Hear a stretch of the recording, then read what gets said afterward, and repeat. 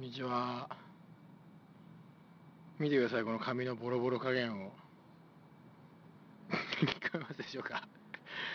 皆さん、あの、声聞こえますか？私の。私の声聞こえますか？私の声は聞こえますか？声聞こえますか？ちょっとですね、今、あのー自分の職場に入院してまして、あの、誰かに代わりを頼もうと思ったんですけど、誰もいなかったんで、あの、気合で枠を取ってます。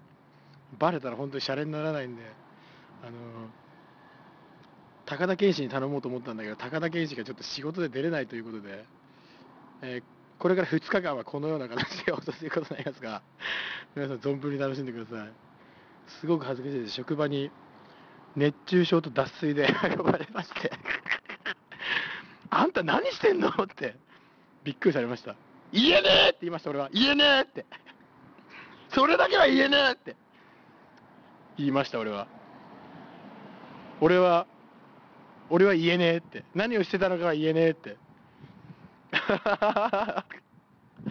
何をしてたのか言えねえって、俺は断固拒否しましたが、皆さんあの、守りました、ちゃんと。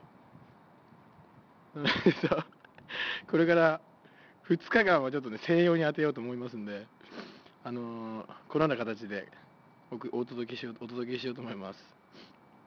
外で、外で倒れました。外で倒れました。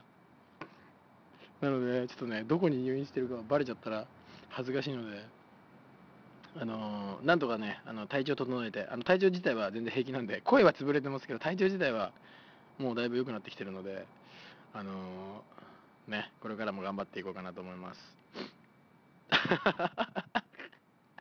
集中しすぎちゃった。集中しすぎちゃったよ、みんな。集中しすぎちゃった。なので、よろしくお願いします。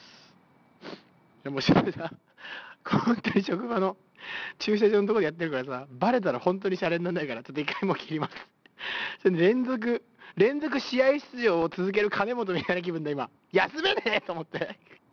あの、休めないんで、あの、さよなら、皆さん、また会いましょう。